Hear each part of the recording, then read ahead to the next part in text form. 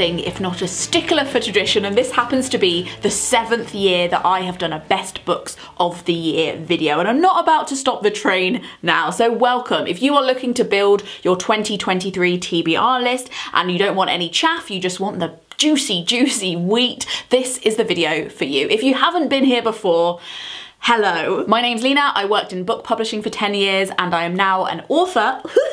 I released my own poetry collection this year called Bargain Bin Rom-Com. But I haven't just been writing books, I've been reading them. 75 this year to be precise, which isn't my personal best. My personal best was 114, but we were in the middle of a global crisis and I was trying to self-medicate with words. So that benchmark aside, I think I've had a bloody great reading year. But there can only be 10 winners. I've whittled it down for you and here is my list. In no particular order, but the first one I'm going to show you is Holly Jackson's Five Survive. Holly Jackson joins the elite list of authors who have more than one book that I've read all of their work of, working on the title. And I couldn't let that title slip by not reading her new release. This came out in December and I got to interview Holly for a Waterstones event, so I did get to read it a little bit early. Holly Jackson's A Good Girl's Guide to Murder series is genuinely one of those murder series that actually lives up to all of the hype, plus maybe a little bit. But this is a standalone book designed to break the most reprehensible, the thickest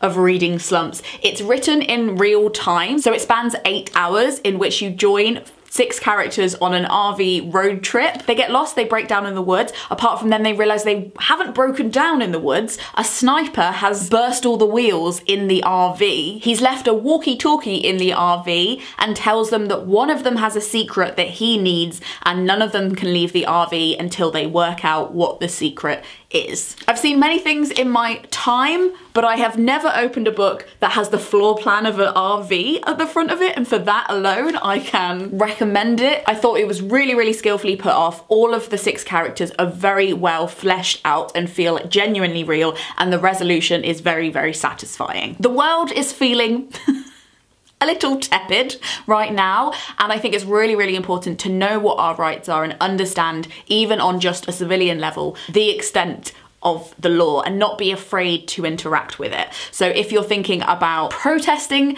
next year, if you're thinking about using the internet, if you're thinking about renting or are renting right now, this is the book that you need. The Law in 60 Seconds, A Pocket Guide to Your Rights by Christian Weaver. Christian Weaver is an incredible human rights lawyer. He's been in the news a lot for some pretty high profile cases and I think this is an accessible and straightforward but also engaging guide to your rights. It's designed to be a little handbook that you keep around for when you need it. I read it back to front because I'm a nerd. Obviously, you're not going to be able to remember everything you read in this, but it one is a great reference tool to have around, and two, I think it means that I'm less likely to be lied to, either in a real situation, because I have had some interactions with some policemen this year, or if you're hearing something on the news. When you hear something that doesn't align with something you've already read, you're more likely to question it. So even if you can't recall and repeat everything you learn, I think it's a great balm against this very spiky law landscape that's going on at the moment. Obviously, this is UK law. If you have suggestions of similar books that are available in your country, please leave them below.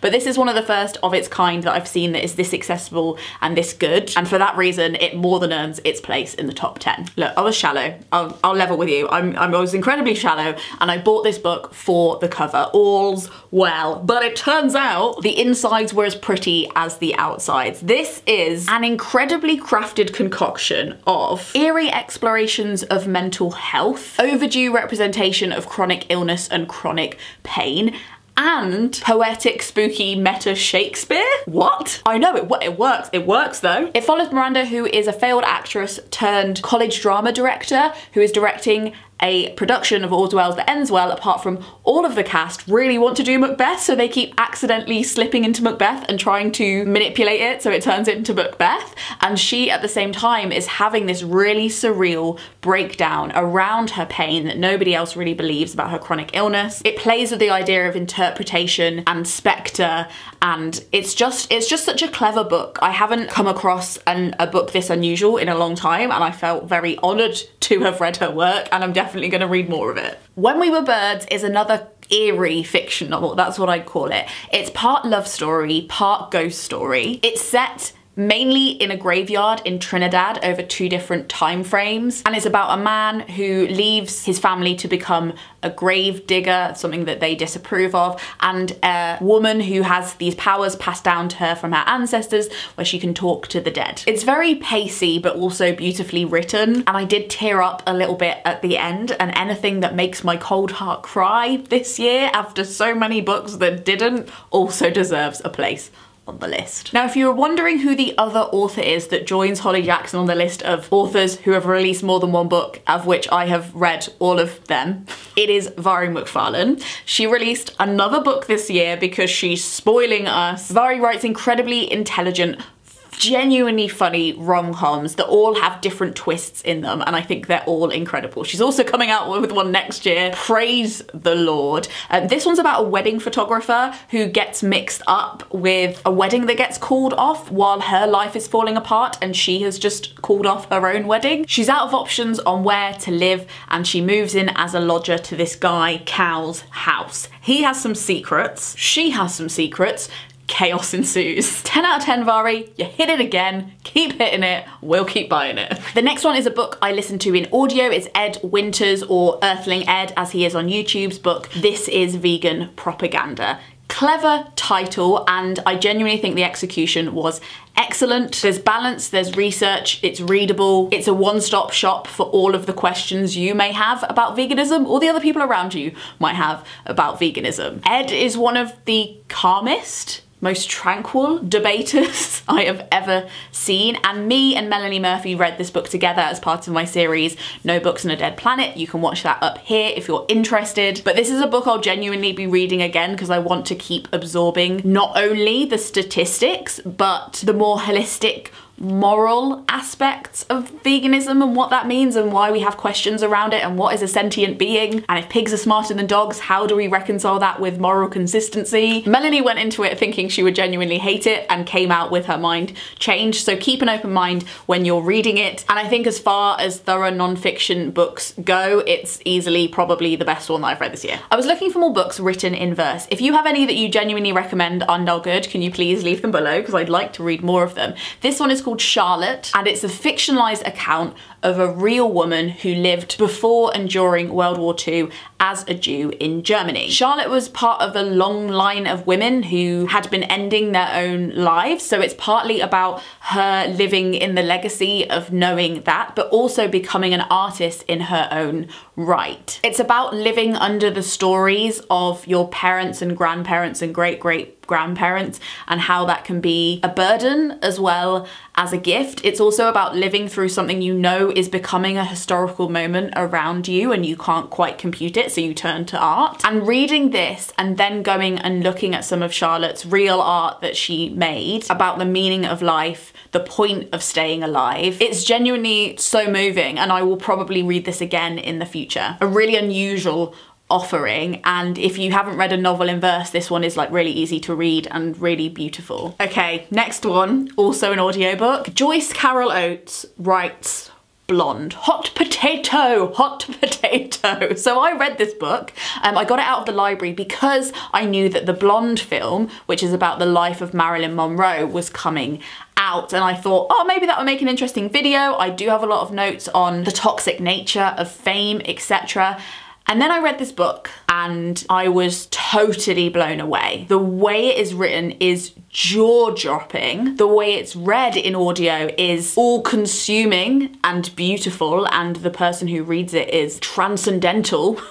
as an audiobook reader. And I also thought it was really sensitive, really tastefully done, explored all the issues of feminism around her life, all of the secrets that could have been there. It is a fictionalized account of her life and the way that Joyce Carol Oates has described it in interviews. Um, she does an interview at the end of the book explaining why she wrote it and why she thinks a fictional account is more respectful than trying to like hash out everything that ever definitely happened to Marilyn Monroe. But she went around kind of essentializing. So if there were like four men that did similar things to her, she'd them and put them into one man. Several miscarriages become one miscarriage, stuff like that. But I came away from that book being like, wow, there's fictionalized memoirs and then there's Blonde. And then I saw all the reviews for the Netflix film and it was really concerning and it sounded like they'd really perved on her as a fictional character and they kind of done it through this really, really weird lens and it didn't seem like what I'd read in the book and it sounded like it had been kind of stripped of its integrity and its artistic nuance. And I kind of just thought, I don't know if I want to watch that. I think that I have great memories of the book and that's fine. So if you have watched Blonde and you do think it's worth a watch for me, let me know below. But at the moment, I'm sticking with this. And I think that if um, exploring Marilyn Monroe's life and the themes that were portrayed in the trailer of Blonde sounded good to you, but then you heard the reviews and you were like, maybe not, then maybe you might like the audiobook. It's also nice and long, which I actually quite liked. Totally immersive and I think very respectfully done. I read two Alix E. Harrow books this year and it was hard to work out which I was gonna put in this list, but essentially the Once and Future Witches won, but the 10,000 Doors of January was such a close second. Um, I know that her writing is kind of marmite for people. Some people don't like how poetic it is, or I don't know what they don't like about it, but I know that it's one that either divides people. People are either addicted to her writing or they don't like it. I am in the addicted category, and this one in particular captured my imagination when it came to themes. This is set in the 1890s in the US, and it's about three sisters, Juniper, Agnes and Beatrice, who have all fallen out but all happen to live in the same city doing various different things. Their lives start intersecting with the suffragette movement, but then they realise that a lot of the suffragette movement is kind of exclusionary of working class women like them and also women of colour who are people that they start to get to know and they break off and instead of giving up the idea of getting a vote at all, they start encountering witchcraft in their own lives and setting up a secret coven of suffragette witches. Look, when I'm explaining it, it sounds silly, but genuinely it's so freaking good. So if you're looking for beautifully written sentences or intersectional historical feminism with a little bit of a queer love story on the side. If you're not ready to dip yourself fully into a tank of fantasy, but you would like some ethereal magic in your fiction, forget to pick this up at your peril. Sarah Moss wrote one of my favourite books of another year called The Ghost Wall, and this year I challenged myself to read more books set in the place that I was born and now live, the Midlands. So when I heard that she had written a book about Coventry called The Tidal Zone, it was an obvious one that had to go straight to the top of my TBR, and thank God